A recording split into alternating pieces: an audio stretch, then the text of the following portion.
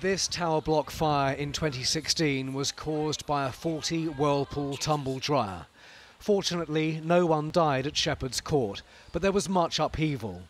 Chantal Froelich was evacuated and not let back into her flat for more than three months.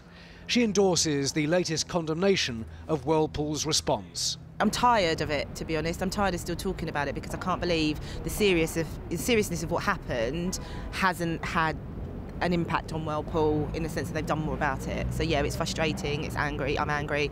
Yeah, I'm tired. Whirlpool sells dryers under the Hotpoint, Creda and Indesit brands.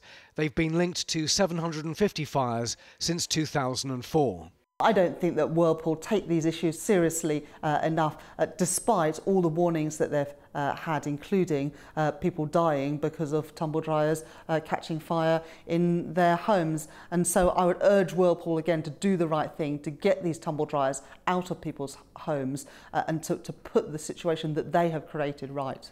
In a statement, the company defended its recall record. Whirlpool says it has a resolution rate more than three times the industry average for a product recall. We have provided resolutions to 99.9% of all consumers who've registered and resolved 1.7 million affected tumble dryers.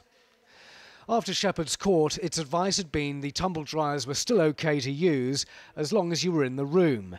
The fire brigade's advice is unplug it. For us, if we know that something has led to a fault or there's a fault that's led to people losing their life, we find it really hard to see how a manufacturer cannot address that quite clearly to ensure public confidence in their products. Chantal has no confidence in the products or the recall. That's quite scary that something hasn't happened since, to be honest, in a year and a half to somebody else. But firefighters know the dangers all too well and fear it's simply a matter of time.